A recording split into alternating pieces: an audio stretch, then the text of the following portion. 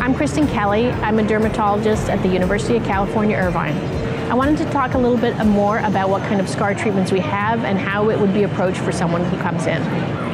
For someone, for example, who comes in with a surgical scar, we'll evaluate their scar, we'll talk about options that we have. Some things that we might be able to do is use a pulse dye laser, which will help take away the redness. This laser is kind of like having someone uh, snap against your skin, so it's a little bit uncomfortable, but most people tolerate it very well.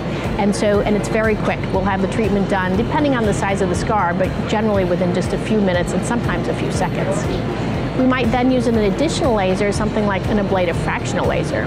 This can drill little holes into the skin. This one stings a little bit more, but again is very quick, done in a few seconds or minutes, depending on the size of the scar. And sometimes if the scar is raised up, we might apply some medications after that. And now that we've drilled those little holes, these medicines will be much more effective because they'll penetrate better into the skin. Using these combinations of treatments, we can generally significantly improve scars.